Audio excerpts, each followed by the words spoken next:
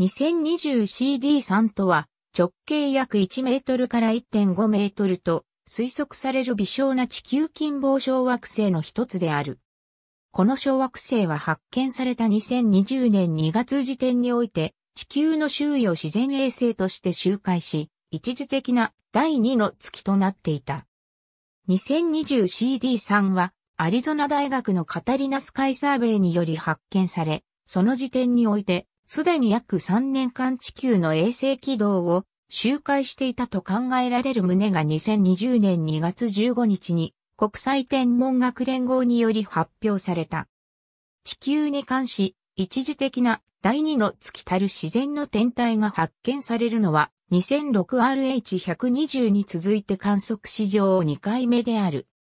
炭素質の C 型小惑星であると見られたが、その後、S 型か V 型小惑星であるとの観測結果が報告された。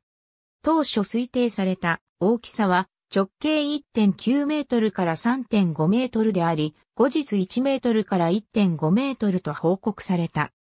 死等級は23.0、絶対等級は約32と暗い天体である。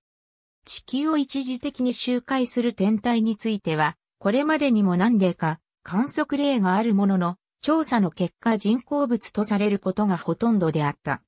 しかし、太陽放射圧の節動の観測結果などからは、2020CD3 について人工物であるとは見られていない。ただし、ハワイのゼビニ天文台が2020年2月24日に観測した際には 2020CD3 が自然物か人工物かを断定していなかった。またスペース X 設立者のイーロン・マスクは自身のツイッターで 2020CD3 は少なくとも自分のものではないという旨をコメントしている。その後のローウェル天文台での観測により天然物であることを示す観測結果が報告された。2020CD3 の起動のアニメーション。2020CD3、月、地球 2020CD3 の軌道。白は月の軌道。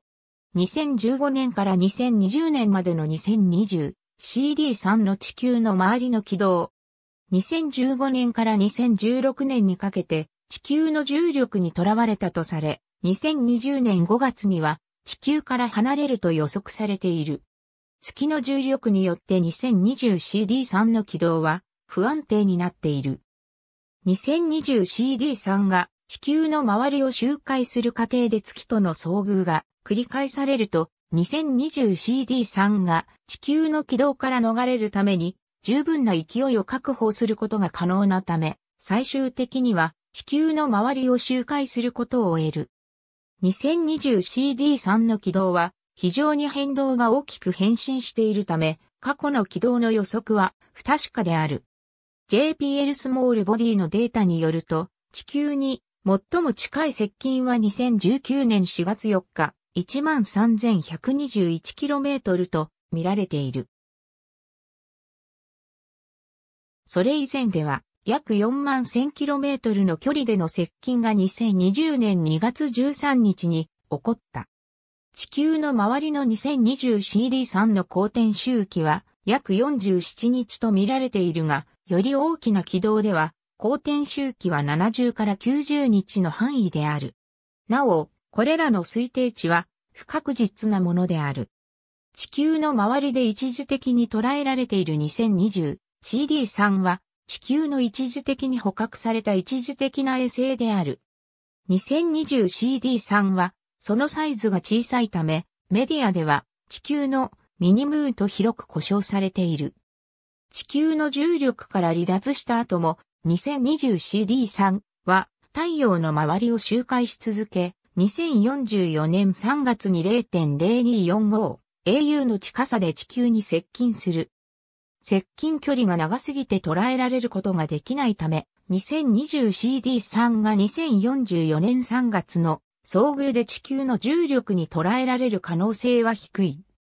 2044年の接近後、軌道は変化せず、次の遭遇は2061年頃となり、0.0375 au の近さで地球に接近すると予想される。ありがとうございます。